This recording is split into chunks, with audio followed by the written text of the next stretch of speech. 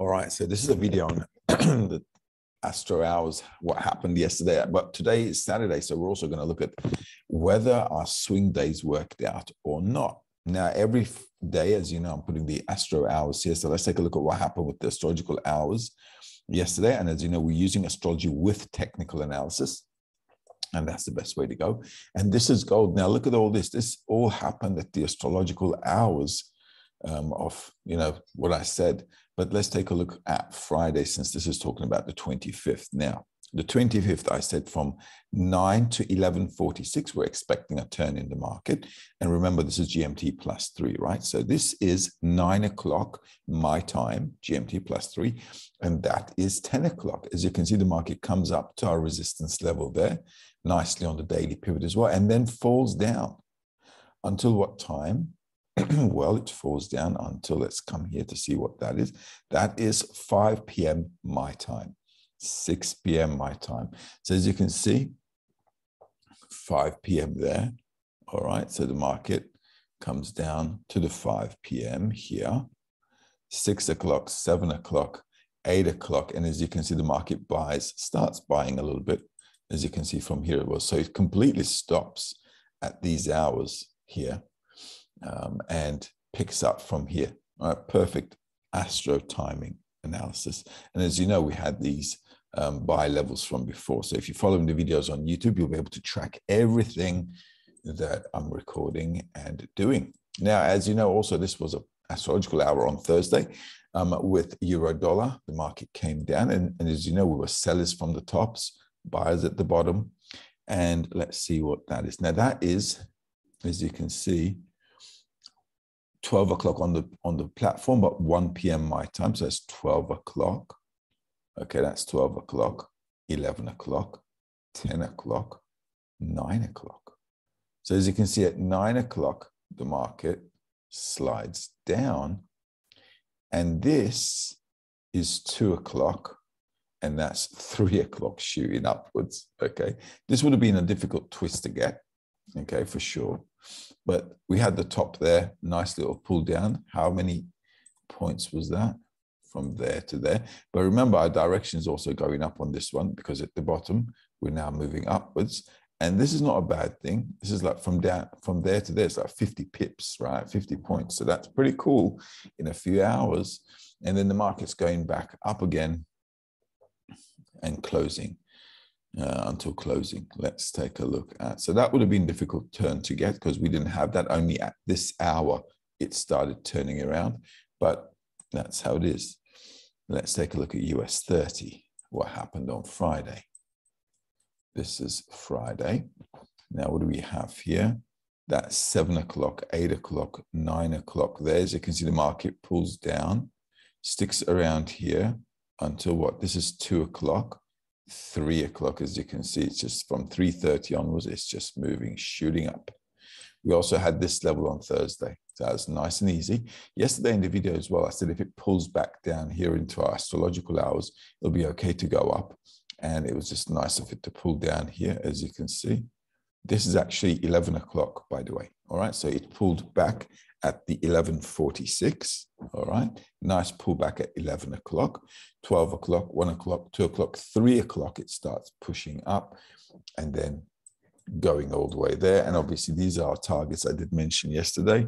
Going up to here was just logical. All right. Um, what else? Let's take a look at Bitcoin to see how that panned out. Bitcoin as well. So this is yesterday's Bitcoin. Let's see when, when the pullback was. You see, that's 12 o'clock there. All right, so pretty much 11 o'clock, 12 o'clock market moves up into what hour?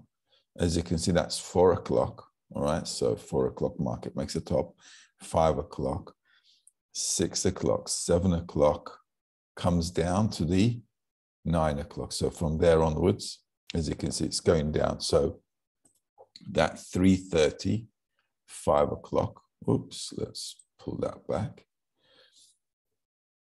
Time period, okay, 3.30, that's the three o'clock bar, four o'clock bar, five o'clock bar, market pulls back, comes down into the nine o'clock, all right? And the latest we had was 8.30. So crypto was a bit tricky. The reason it was a bit tricky, you need to do it with your technical analysis, right? If it does not match your technical analysis, then obviously you're not trading it. So we're always determining what to do according to um, technical analysis. You don't, you're not just going to dive in there, okay? It's not a good idea.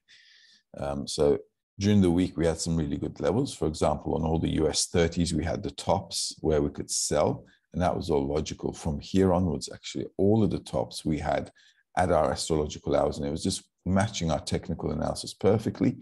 Also, this target was a PST level on our 80 AM strategy on the daily down here, as you can see. And it was only logical for the market to pick up. And this was also an astrological hour. This was an astrological hour as well.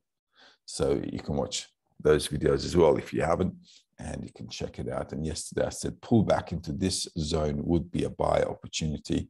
And market comes straight in there with like 11 o'clock, as you can see, 11.46 there, coming right in there and nicely going up. So first you got to do your technical analysis, then your astro hours are going to work wonders for you. In fact, I've just recently done a PDF book on how to use astrology with your technical analysis, which will make things really easy. And I put a lot of examples in there, and also from one of the guys who doing, uh, who's also using astrology uh, timing at the Global Trader Club, and he's using also technical analysis.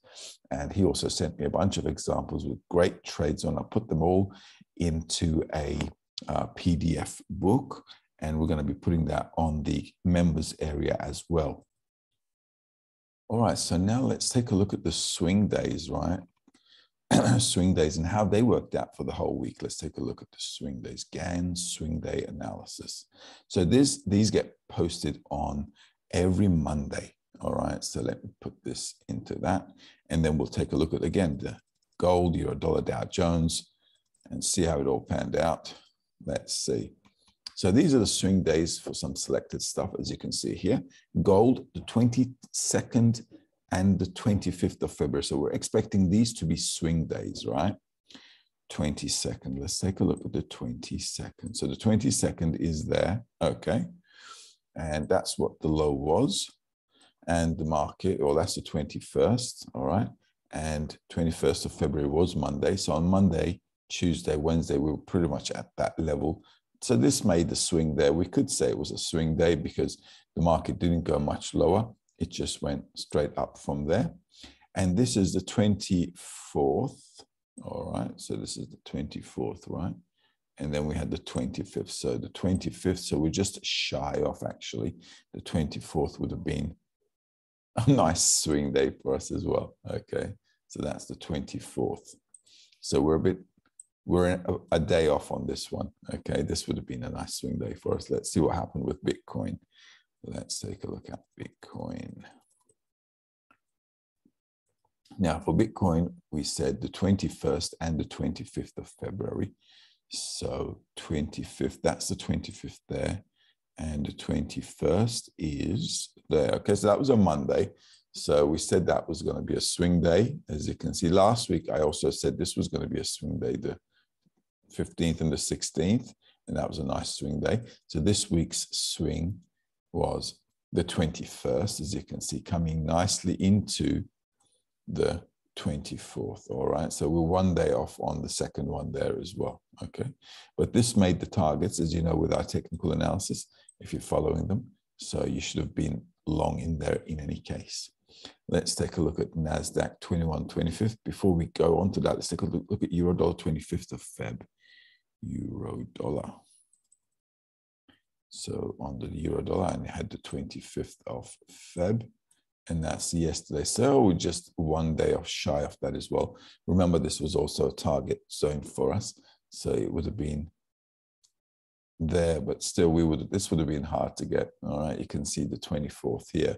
That's the swing day. So we we're one day off there. All right. I'm going to be renewing also the exiles since we've moved into 2022, and we're going to be looking into um, swing days as always, but I'm just going to renew and update the exiles as well. So that's going to be that. Let's take a look at NASDAQ 21 and the 25th. Let's do NASDAQ 21st and the 25th.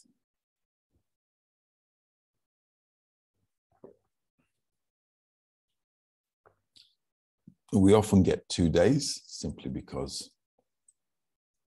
um, the, you know, in the week they will have a swing top and a swing bottom kind of thing. We do have a plus or minus 24 hour rule, but I don't like to use it. I just want to make sure that this is, you know, just want to give a date and that'll be kind of it kind of thing. Now, that's the 21st. As you can see, that's the high of the week. All right, that's pretty much where the week was high. And on Friday, we went back up there. So on the 21st, that was a nice swing and the market did not go higher, comes into the 24th, and that's the other swing day. Okay, so 25th, we're one day off on this one as well, as you can see. But there, unless the market turns around from here and goes down, we won't know that until next week. But the 21st, definitely nice and easy. That's a Monday, pretty much top of the week, bring us down here. And with NASDAQ, as you know, we had levels down here. So it's only logical the market bought right on our PSC as well.